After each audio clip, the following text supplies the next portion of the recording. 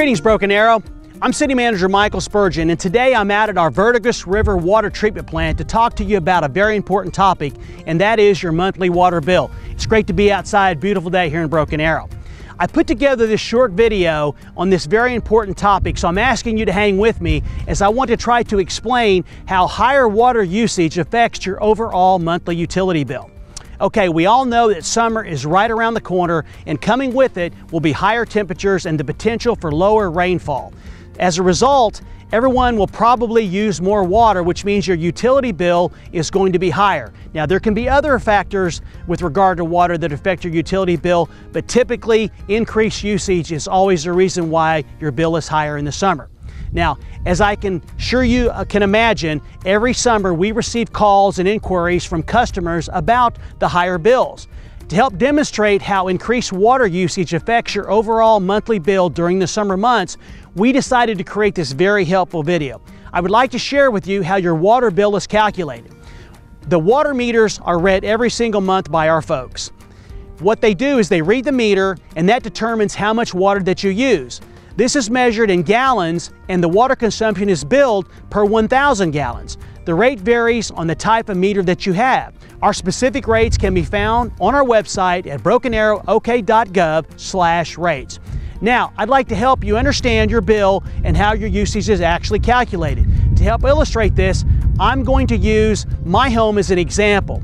As you can see, during this time period, we used about 3,000 gallons of water at an actual water cost of about $25, which is added to the base charges, which means our bill was about $76 for that month.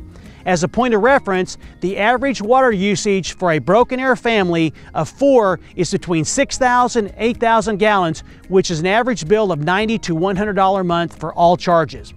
You'll recall our bill was about $25 for 3,000 gallons in November. Now let's compare our highest usage period, which was from August 3rd through September 8th. In August, we consumed just over 22,000 gallons of water. That's over seven times more water than we used in November, December. The bill for that month was about $175 or almost $100 higher for the water charges alone. Now, for us, the largest consumption to our summer usage is our sprinkler system. However, as you can see, all that water adds up very quickly.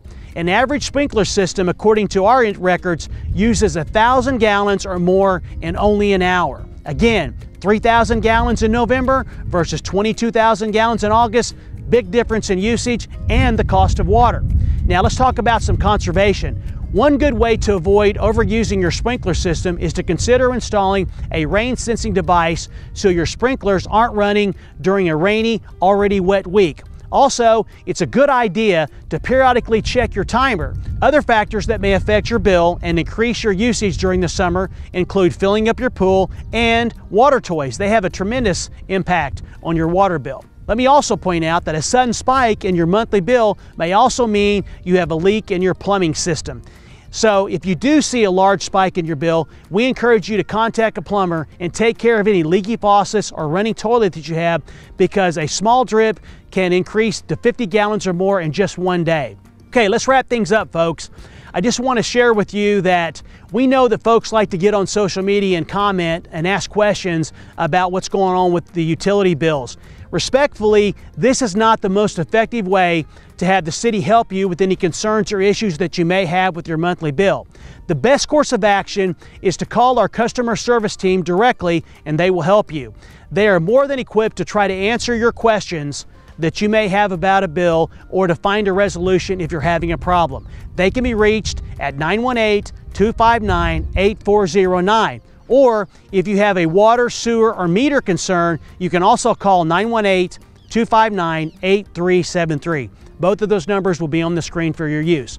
Let me also mention if you're more comfortable with emailing us, then I would encourage you to reach out to our utility customer service manager. His name is Kurt Poole. He's great to work with, and you can reach him at the email on the screen. Kurt, once again, is great to work with and he'll be glad to help you. Okay, that's about a wrap, folks. I'd like to take this opportunity for thanking you for joining me. If you have any questions, please reach out to us. Until next time, stay cool, have a great summer, and I look forward to seeing you around town. Thank you for watching.